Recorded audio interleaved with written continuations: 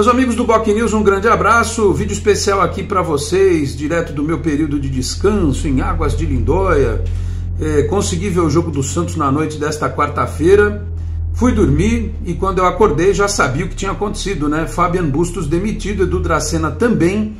É, mas não pode ficar só por aí não, porque afinal de contas foi um vexame histórico na Vila Belmiro, uma eliminação para uma equipe venezuelana, primeira vez que um time brasileiro foi eliminado por um time venezuelano em competições continentais. O time saiu perdendo por 1 a 0, teve a expulsão do Rodrigo Fernandes e jogou melhor com um a menos, né? empatou com o Marcos Leonardo, mas aí nas penalidades o Ricardo Goulart, que ganha 500 mil reais por mês, entrou só para bater pênalti e botou a bola na mão do goleiro. Depois o Lucas Barbosa também perdeu enfim, os jogadores do Tátira bateram super bem. O João Paulo não consegue chegar em pênalti, impressionante. Ele é um, um ótimo goleiro, mas ele não sabe defender pênalti, não consegue defender pênalti. Mas também não dá para culpar o João Paulo, porque ele é o menos culpado desta situação lamentável em que o Santos se encontra. Um time horroroso, é, tecnicamente, com erros bizarros comandados pelo seu treinador, que não é mais, né?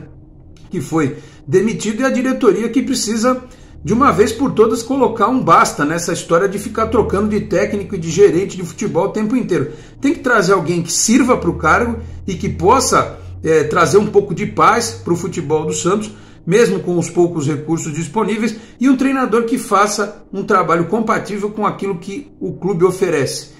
É, e pode oferecer um pouco mais, porque na janela de negociações agora, na, no dia 18 de julho, o Santos tem que trazer algum jogador, porque senão a situação vai ficar terrível. O Santos vai é, piorar muito, ainda mais. É, 13 jogos, só uma vitória, na, é, goleada para o Corinthians na Copa do Brasil, eliminação diante do Tátira. É vergonha atrás de vergonha no Santos Futebol Clube.